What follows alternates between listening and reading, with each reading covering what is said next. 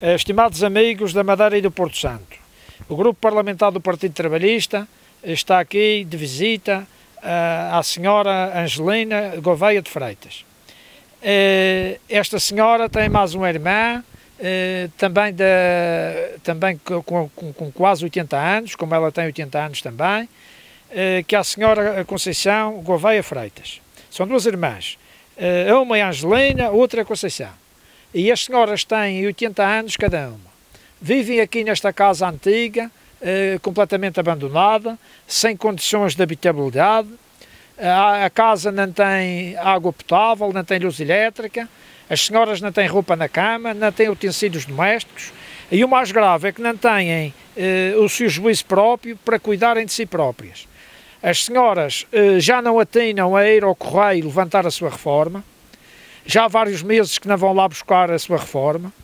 Uh, ainda há poucos, há poucos dias tive aqui o quarteiro uh, da zona que veio entregar a reforma, elas não quiseram receber o dinheiro.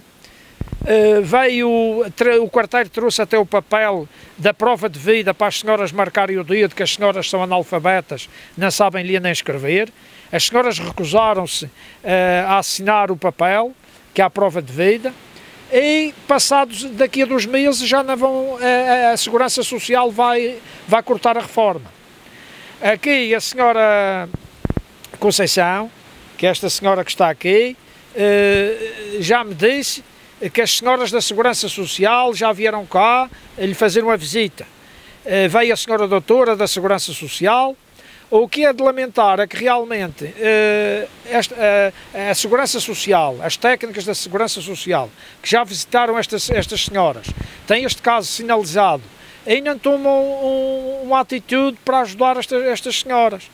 Uh, acontece que os familiares próximos das senhoras, elas têm apenas aqui um primo, que mora aqui ao lado de cima, o primo quando vem trazer comida, ou petróleo para a iluminação, porque elas têm candeeiro a petróleo, elas recusam-se a receber o petróleo, e recusam-se a receber a alimentação, os géneros alimentícios que, que o primo oferece. Uh, e esta senhora, estas duas senhoras, esta senhora e a sua irmã, que não está aqui presente, uh, uh, vivem completamente isolados do mundo, vivem aqui no sítio das Eras Velhas. Para chegar aos próximos casais é preciso andar 3 km de carro. Uh, aí estas senhoras vivem completamente sozinhas, aí daqui a dias o que espera estas senhoras é elas morrerem vítimas de algum incêndio ou de alguma doença súbita, porque elas não, não conseguem, não têm o seu juizinho próprio, e não conseguem gerir a sua vida pessoal uh, e fazer o seu comerzinho. Elas estão subnutridas, estão muito fracas, uh, estão muito magrinhas, e qualquer dia vão morrer de subnutrição. E nós achamos que a Segurança Social, uh, digamos, uh, a senhora doutora delegada de Saúde, o senhor Presidente da Câmara de Santa Cruz e o senhor uh, Presidente da Junta de Freguesia deviam tomar uma atitude proativa no sentido de virem aqui, retirarem estas duas senhoras e levá-las para um lar de terceira idade. Porque as senhoras não, não conseguem já fazer a sua própria comida, passam fome, passam um dia com pão. Passam um dia só a comer pão seco, eh, ou, fazem, ou cozem um pratinho de milho e, e só comem o milho, sem a cozinha de peixe, sem nada. Aí o mais grave é que elas recusam qualquer oferta que as pessoas venham trazer. Os familiares, quando querem trazer qualquer género alimentício, elas recusam-se a receber e recusam-se a comer os alimentos que as pessoas oferecem.